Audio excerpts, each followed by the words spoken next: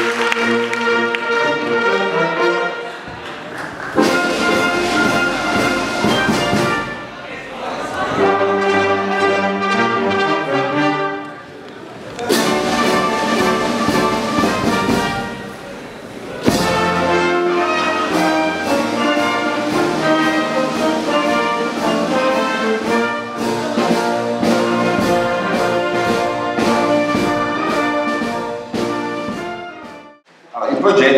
hanno un senso. Primo, se uno si diverte e capisce lo scopo. E poi l'altro obiettivo è provare a far sì che attraverso quello che voi fate si possano cambiare i comportamenti. Voi sapete, voi siete ragazzi, anche nemmeno molto piccoli, perché chi è della scuola, della scuola, quella che io chiamavo superiore in tempi miei, che sono diciamo, primitivi digitali, voi siete nativi digitali. Però c'è un paradigma della comunicazione, no? voi sapete cos'è la comunicazione, che dice che la comunicazione dovrebbe o cambia i comportamenti. Allora io spero, mi auguro che questo lavoro che tutti noi facciamo nel vostro interesse, ecco, questo ci fa piacere dirlo, credo che i vostri insegnanti siano il più bel esempio, i vostri genitori. Noi vi vogliamo bene, un poliziotto che dice vi vogliamo bene, poi dici vabbè allora magari fammi girare senza casco, fammi girare con l'impennata, ma questo uno magari potrebbe pensare, se mi vuoi veramente bene fammi fare quello che voglio. No, voi sapete che chi vuole bene veramente aiuta a far rispettare le regole, nel, nel vostro interesse, perché poi a noi fare una contraddizione in più, guarda, non credo che noi dobbiamo risanare il bilancio, adesso sto qua, insomma, siamo noi che dobbiamo risanare il bilancio di questo paese con le multe, quindi quello che noi proviamo a fare con voi è veramente un'opera in cui appunto la comunicazione con i progetti aiuta a cambiare i comportamenti e a farvi capire l'importanza del rispetto delle regole. Non è facile, perché qualcosa poi sono delle regole anche un po' struse, perché poi noi siamo capaci di scrivere regole difficili, no? però sono regole importanti. Voi sapete quanta gente è morta nel 2016, l'ultimo dato ufficiale. Quanti, quante persone in Italia sono morte nel 2016 per incidenti stradali? Sei autorizzata, non, non ti do il voto, di un numero come ritieni, come, come pensi tu? Quante persone sono morte per incidenti stradali nel 2016? Quanti? Beh no, per fortuna un po' di meno. Però guarda, non sei andato molto da... Quando tu eri, anzi non solo non eri nato, ma probabilmente nemmeno pensato, cioè nel 1972, molti progetti, cioè poi gli studenti nessuno per fortuna, c'erano stati 11.000 morti in Italia. Quindi quel numero che tu hai dato è stato un numero purtroppo toccato in Italia. No, nel, nel 2016, che è l'ultimo anno dei dati ufficiali, noi abbiamo circa 3.300 morti. Sono tanti. Tu sai quanta gente è morta per il terremoto all'Aquila? Sì. Quanti sono morti? 300 persone. E tutti noi abbiamo partecipato con grande affetto, con grande solidarietà, con grande partecipazione alla, alla sofferenza di queste persone colpite dal terremoto. Voi pensate che gli incidenti stradali ne muoiono 10 volte più. Quindi ecco perché questi progetti sono importanti, poi lo dirò al professor Giannini, sono progetti validati. Vedete, lo dico, lo so che qualche volta eh, può essere anche un oggetto di critica, ci sono troppi progetti in questo paese, troppi, pochi ma buoni direbbe qualcuno, ma non solo buoni, validati, validati e noi abbiamo la fortuna di averli validati, perché dopo al professor Giannini, i nostri progetti passano al vaglio del mondo scientifico. Qual è il mondo scientifico nel nostro paese? L'università. Ognuno il suo, direbbe qualcuno, e quindi questo è un elemento. Ecco, questi, questi ragazzi, queste ragazze, uomini e donne, visto, sono veramente sulla strada per provare a prevenire, perché questo è il nostro obiettivo. E questo progetto che ha messo insieme tantissime persone, diceva Francesca, ministeri importanti, il MIUR, il MIT, eh, enti, eh, il MOICE, l'ANIA, il mondo assicurativo, la federazione ciclistica, che come dire, è impegnata a vincere molte gare.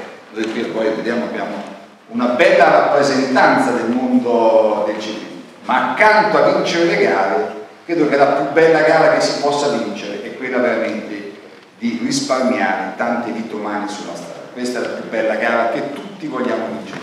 Quindi complimenti a chi ha vinto. Io vorrei dare il merito anche all'istituto alla classe che ha partecipato appunto alla realizzazione di questo video e soprattutto al professor Mandarano che ogni anno ci, ci guida.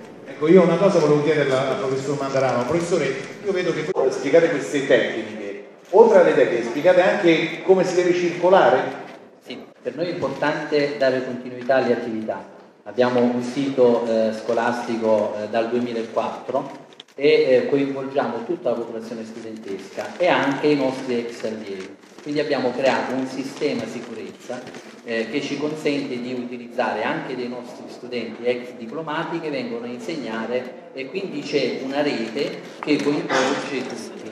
Eh, i ragazzi, eh, la formazione e il video nello specifico è frutto di una riflessione da una lezione della Polizia Stradale. Eh, a Torino organizziamo diversi eventi, io mi occupo e collaboro anche con l'ufficio scolastico per la formazione nel Piemonte e abbiamo proprio riflettuto a seguito di una lezione di un agente della polizia stradale e a seguito di questa lezione abbiamo poi creato eh, questo, questo sport. L'importanza affermata dalle vostre attività in questi anni, cosa si sente di dire oggi dopo tanti anni di attività di prevenzione nelle scuole?